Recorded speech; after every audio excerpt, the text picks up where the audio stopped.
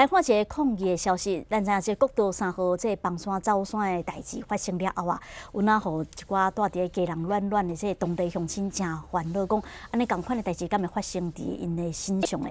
因为拍算年底要动工的这基福公路乱乱路段是无经过这环境评估的，啊，同时这个路段也搁来经过了破碎的地质，所以因今仔日都去交通部抗议哦。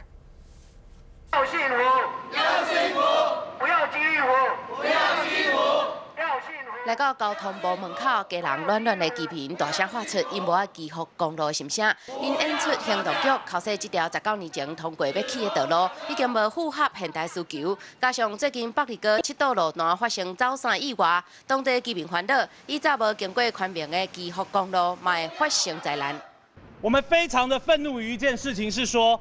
这两个案子基本上都好像不受到环评法施行细则的规范。居民指出，原本起这条家人到福良的基福公路是要改善东北角海岸塞车问题，即马根本未塞车，起这条路无效益，而且会破坏环境。因无了解，拖十九年拢起未起来，即马有必要接近吗？